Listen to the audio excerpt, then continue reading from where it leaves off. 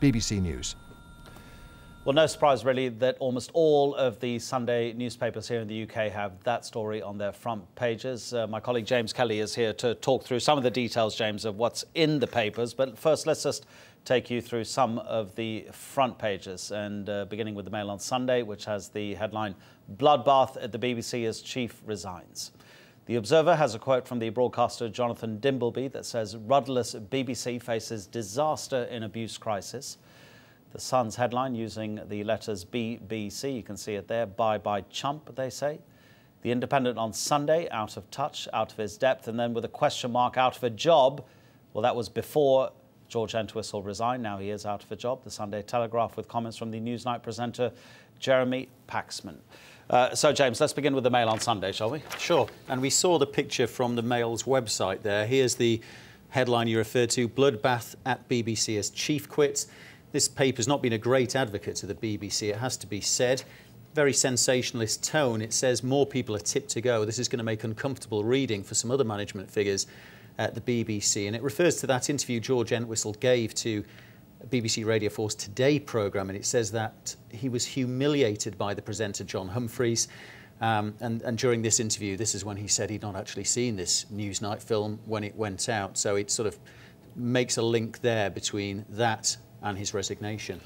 And in the Observer, uh, well, just uh, sort of reviewing the 54 days that George Entwistle was in charge of uh, the BBC, took over from Mark Thompson uh, fewer than two months ago, and the Observer saying that he was no longer in control of the corporation. Almost all of the papers pretty much unanimous, aren't they, in the decision that he took, in that it was the right one in their opinion? Absolutely. Um, Sunday Times here. BBC boss quits over shoddy journalism at Newsnight.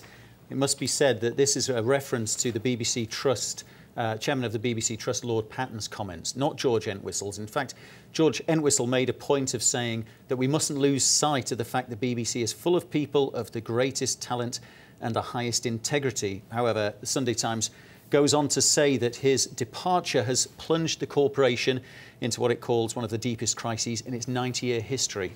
Uh, the Sun, far simpler, bye bye chump, the headline saying that it's a fiasco for the BBC and uh, calling George Entwistle a bungling director general. And uh, what else have we got? Independent. Out of touch, out of his depth, out of a job. That pretty much sums it up. Uh, it says that his departure came at the end of a day that was marked by increasingly savage criticism. And it also uh, goes on to quote David Mellor, the former Conservative cabinet minister, who had responsibility for the BBC in John Major's government.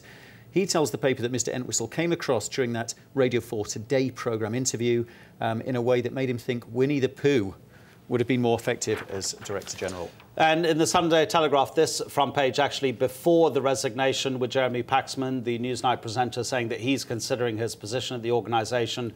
And uh, then later, once the resignation was confirmed, uh, more sort of obituaries of uh, George Entwistle's uh, media career, having spent uh, almost a quarter of a century leading up to becoming the Director General in the paper, looking back and saying that when he was six years old, he actually wrote to the BBC to complain about Tom and Jerry being bumped off the schedule. So his uh, association with the organisation now at an end after he was also, it must be said, an award-winning uh, director, leader uh, editorially of Newsnight, and now he's resigned. So James Kelly, thanks very much indeed.